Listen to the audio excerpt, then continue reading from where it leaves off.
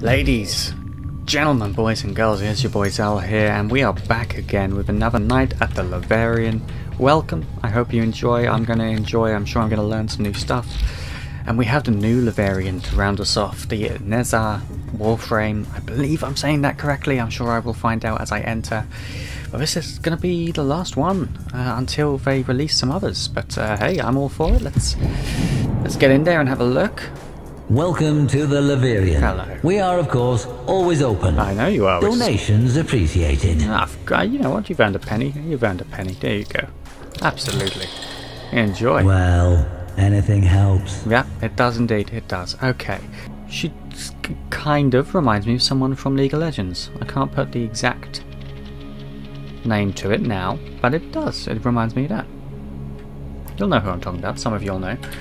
Nezha, The mercurial firemonger, the clarion of hope. However foul the decadent excesses of the Orokin Empire, the aftermath of its collapse was arguably worse. But the darkest times often give rise to the brightest legends. We've seen that happen often, haven't we? Tales of a being called Nezha predate the Orokin fall. They speak of a swift warrior who leaves trails of fire, summoning barbed spears from the very earth. But it is during a time of unsurpassed brutality, at a moment of wanton slaughter, that this most blazingly improbable of warframes first proves to be more than a myth. Okay. Alright. Ooh. The Tang dagger. That doesn't even need a skin on it, does it? That looks. That looks awesome. Looks pretty corrupt, but it looks nice. This blade, a tongue of exquisite flame in cold metal, it was unearthed by a poor farmer of Reshantur as he followed his hulking plough beasts across fields he would never own. Another might have bravely kept the dagger, but records suggest he handed it into his overseer on the spot. A half cup of rice, his princely reward. Ah. With no Dax to keep the peace, and no Parvus Granum to hold the corpus board together, bloody land grabs were routine. The fertile fields of Reshantur changed hands many times. With each hostile takeover, slain workers became fertilizer for the next yield of crops Nice. tended by the survivors. And so it went. This created what you might call a staffing problem. If all the surviving adults are working the fields, then who is left to defend them? Seems like a weird warframe to defend, but fine. Ah. Children, that's who. This dismal little relic was once part of a of a Syandana, shall we say. Though not of Orokin make, clearly. No. Its young owner wove this from a fertilizer sack. Ah. There were many such capes found at the site. Enough for an army. Mowers were expensive, you see. Children, they were cheap and plentiful. It made good business sense to arm them. Nothing Not the a very youngest, child of course, just the near adults. The still unbroken, those who understood the stakes.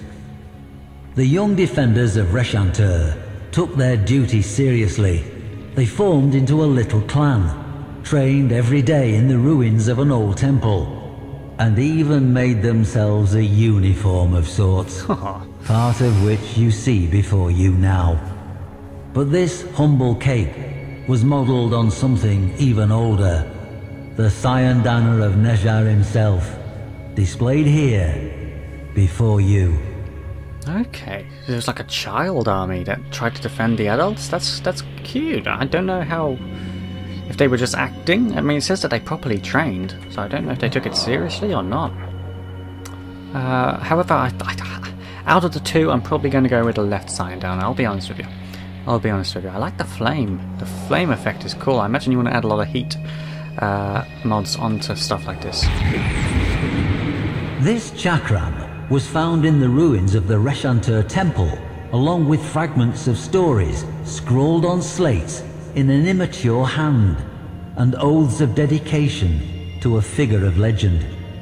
It seems the child soldiers of Reshantur took courage from the tales of Nezha, adopting him as patron and protector. Their scratchings evince a firm belief that Nezha would bless them with victory should they fight without fear, and abandon them should they ever fear. So, they swore they would defend the fields to the last drop of their blood. Clever manipulation. I wonder who put that idea into their heads. At any rate, they accepted it on faith. At least, until the massacre of Reshantur. Ah. So imagine the kids tried to fight, did they? Hopefully they got saved by Nezha. Improvised this spear, modelled on Nezha's own, was found buried in scorched soil. Oh dear. Note the size. Records of the attack are nigh impossible to find. Not surprising. The massacre was almost certainly covered up to protect what the corpus regarded as sensitive business practices. Mm-hmm. Imagine the children, Tenno, wearing their pathetic Syandanas, bearing flimsy weapons, but with heads high as warriors. Think of them rushing at their far superior foes without fear, and imagine what those foes did. To this day, the fields of Reshantur cannot be ploughed. The blades of ploughs are dented and destroyed by an earth that, still, remains thickly seeded with shot and shells and the cold brass teeth of war. But that is not why the event is called the Massacre of Reshantur. The children charged, the corpus took easy aim, not one child's heart fluttered, and then flame. Okay. So did Nezha kill all of them? Surely not. Surely not. I, I will not believe such a heinous act. The corpus surveyor, Yena Zasperin, says she found a solitary child wearing this helmet in the midst of a charnel field of remains. But they were the remains of corpus troops, some dismembered, some impaled, all burned. Nezha did it, the boy said calmly. He flew down from the sky and tore the enemy asunder with wheels of flame. When a child fell, he would raise them up Oh, again. Good, okay, good. Moved quick as a scimitar, and the earth burned where his feet touched. Now the others had gone with Nezha, part of his celestial army. The boy had stayed behind to tell the story. To Zasperin, the boy was merely traumatized. Yeah, of course he The is. massacre, probably a mutiny within the corpus ranks. But Reshantur has been excavated, and every single one of the thousands of blackened bones that were gene tagged had belonged to an adult. Wow, and then what, he took the children away? Why would he leave his helmet? Well, I guess that's why we rebuilt them, right? Looks a bit like Wukong. Not gonna lie, looks a tiny bit like Wukong. Little bit. And at last we meet Nezha face to face in all his unquestionable reality. Did this warframe model itself on the myths to take on the mantle of a mythic hero, or were the myths left in the warframe's wake, a blazing trail to light the way? Ah, history will always be some manner of educated guesswork, and occasionally one of faith.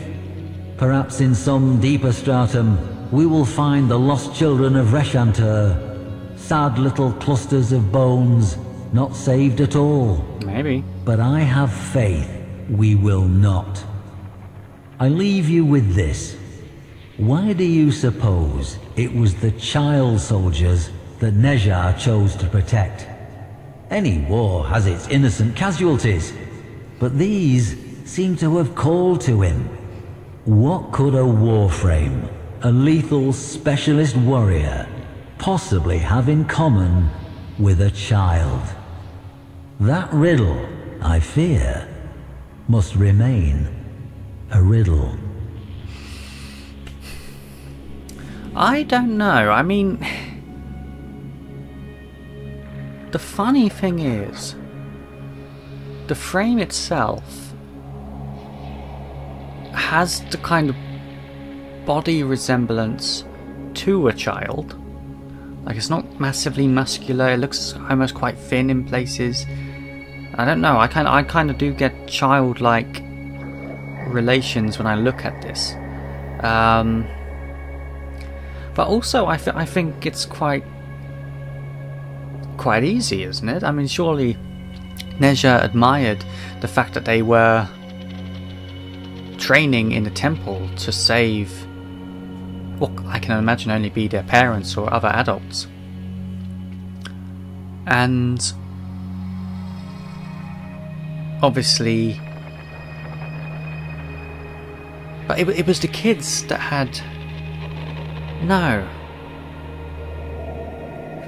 Because it said that the drawings of Nezha, or the drawings of the weapons and stuff like that, was done by an immature hand. So was that by the children who had seen him prior, or was even being coached by Nezha himself? Or was Nezha indeed the child who wrote all those things and it came to pass? And this is him now? I don't know. These are cool stories, man. These are cool stories. I could read these all day. I wish they do release more. Um, it would be amazing to see them actually do a cinematic trailer for each. That would be really, really cool. I'd love to do something like that myself. Uh, I just wouldn't know where to start. But wow. Incredible.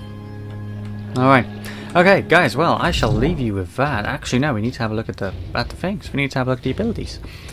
Slide 60% faster and go 35% farther.